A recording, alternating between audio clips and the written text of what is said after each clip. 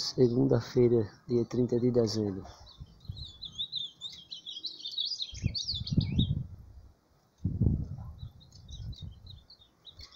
Isso aqui é o cego.